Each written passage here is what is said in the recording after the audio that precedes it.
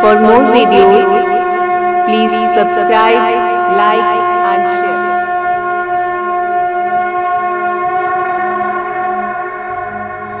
यह व्रत भाद्रपद पूर्णिमा को किया जाता है। उमा महेश्वर व्रत के दिन माता पार्वती और भगवान शंकर की पूजा की जाती है। उमा माता पार्वती का ही एक नाम है। और महेश्वर भगवान शिव का एक नाम है। यह व्रत माता पार्वती और भगवान शंकर को प्रसन्न करने के लिए किया जाता है।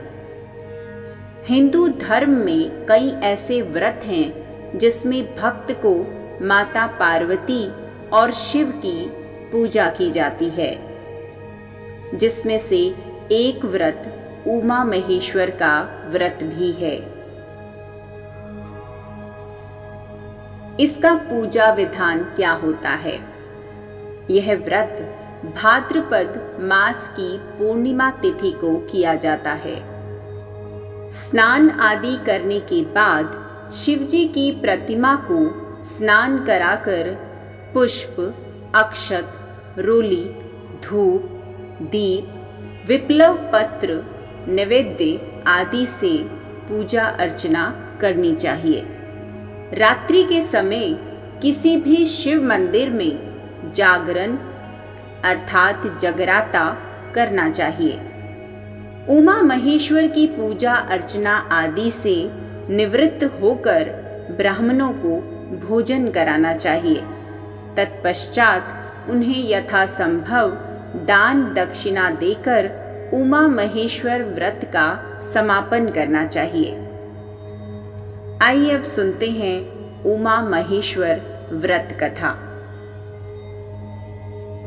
मत्स्य पुराण में उमा महेश्वर व्रत का विधान व इसका विधान दिया गया है।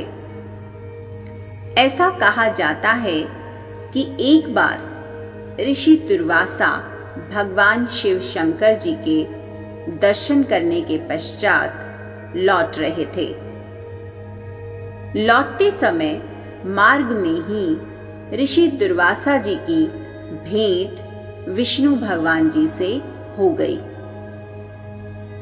ऋषि दुर्वासा जी ने शिव जी द्वारा उन्हें दी गई विप्लव पत्र की माला भगवान विष्णु जी को दे दी।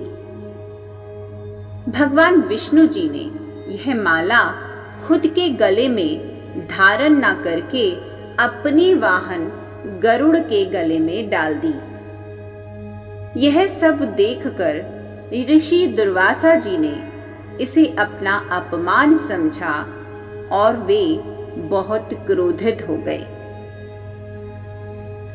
ऋषि दुर्वासा क्रोधित स्वर में विष्णु जी से बोले, तुमने महादेव शिव शंकर जी का अपमान किया है। इससे तुम्हें लक्ष्मी जी छोड़कर चली जाएँगी और तुम्हें बैकुंठ लोक के साथ साथ क्षीर सागर से भी हाथ धोना पड़ेगा।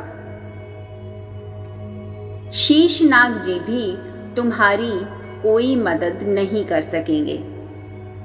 यह सुनकर विष्णु जी ने ऋषि दुर्वासा जी के समक्ष हाथ जोड़कर इस श्राप से मुक्त होने का उपाय पूछा। क्रोध शांत होने पर ऋषि दुर्वासा जी ने विष्णु जी को बताया कि उन्हें उमा महेश्वर व्रत करना चाहिए। तभी तुम्हें खोई हुई वस्तुएँ वापस प्राप्त होंगी।